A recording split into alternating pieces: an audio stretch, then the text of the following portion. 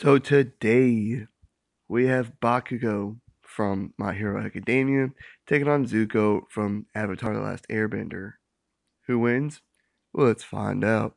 So, before we get to the firebending and the explosive quirk and whatnot, let's talk briefly about physicality, as both of them are pretty physically impressive.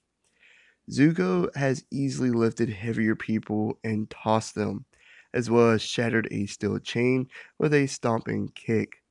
He's easily withstood being sent flying and being blasted by each element, whether it's earth, fire, air, water. Uh, he's fast enough to dodge and even redirect lightning projected at him from either his sister Azula or his father Ozai. He's also a highly trained and skilled martial artist and swordsman, and firebending itself is also a martial art form. Uh, but Bakugo has overpowered restraint and ragdoll Deku, and he's thrown both Ka- uh, Kaminari and Mineta high into the air simultaneously, one hand each. He's withstood hits from Deku at 5% and 8% of his power, uh, Kaminari's 1.3 million electric volt, and he endured his ribs being crushed, and he remained conscious through all of that. Uh, not to mention just hits from All Might, remained conscious and kept on fighting. He's dodged lasers, dodged an invisible attack from behind, kept pace with Deku at 30%, and he's even been described to have lightning fast reflexes. It seems like Bakugo has the edge physically, as his durability seems to be better, but that's also because of his tenacity and his pride, not just his raw durability. We'll get into that a little bit later.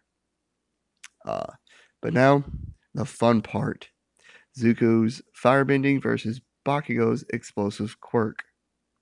Well, let's talk about Bakugo first. So basically, what his quirk is is explosions. He can project explos- explosives from his hands. That's literally it.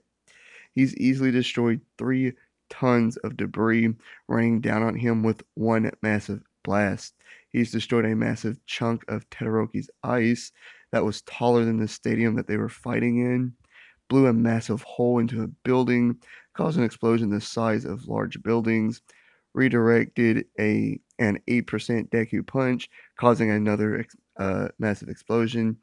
And he's produced massive explosions that are capable of not only staggering, but actually hurting a weakened All Might. And although, yeah, he was weakened, he was still the most powerful hero in the world. So, still very impressive. He can also use his quirk to propel himself through the air like he's flying, and he can do this really fast. So fast, in fact, that he crossed 50 meters in just 4.13 seconds. He's also quite skilled in using his quirk in combat, as he's really good at using it to redirect or propel himself over foes to hit them from behind. But he's also just as likely to just rapid fire his explosions rather than use them skillfully, because he knows he has a powerful quirk, and and this is normally when his pride comes into play. Uh, but moving on to Zuko, Zuko's firebending advanced significantly throughout the show as he mastered it and as he matured.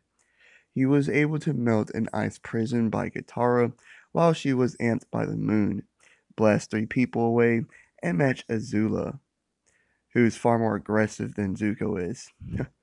He's blasted through buildings, stone, sand sculptures, and even a large crystal. He can also create constructs with his fire. He's formed shields to block explosions and blasts from other elements, and he's also created fire daggers and whips. And the whips were able to match Katara's water whips. He's created large ring of fires and even created a fire tornado. He can also use his flames to propel himself and more or less fly. He's also mastered lightning redirection uh, he learned from his uncle, and he's redirected both Azula's and Ozai's lightning. His fire is also more powerful during the day and while in hotter climates. So, who wins? Well, in terms of raw powered, raw destructive power, Bakugo definitely has the edge. His explosives are just way bigger and more destructive. But with technical skill and versatility, Zuko is definitely taking that edge. There's another factor I need to talk about. Just like everyone else in My Hero Academia, Bakugo's quirk strains and hurts his body if he overuses it and surpasses his physical limit. Because that's all quirks are. They're just physical powers. That's all they are. Uh, they affect you physically. Uh, we saw this when he and Deku fought All Might in their final exam. Now, his physical limit has grown with his training, uh, and his quirk is meant to beat enemies quickly because they are explosions. Explosions. Not to mention his ultimate move, something I haven't mentioned yet, the AP shot, which is a highly concentrated explosive beam of sorts designed to one shot almost anybody. That would probably one shot Zuko for sure. But seeing how Zuko's redirected lightning, I'm sure he can dodge it. Also, Zuko is uh, adept to prolonging a battle if it would benefit him. And in this case, it definitely would. Also, any explosion that uh, Bakugo causes, Zuko can manipulate the fire around it and use it to his advantage. So we got a guy who projects powerful and massive uh, explosions and has more raw power, but has a physical limit, versus a master firebender who is more skilled and versatile. Yeah, I think I'll side with Zuko on this one. Not only because of Bakugo's physical limit, but also because of his just angry, prideful, and tenacious personality that because of these, he's more prone to making a mistake that Zuko can capitalize on. And that has happened several times to him. It's caused him to lose several times.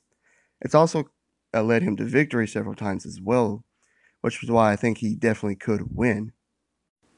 But I think Zuko is winning at the end of the day. Like if it was like their very first fight, yeah, I'd say Zuko is winning this one. Zuko wins. Like and subscribe if you did enjoy. Leave a comment of what you think and hit the notification bell to be notified of all my future videos and all the great stuff. See you on the next one. Peace.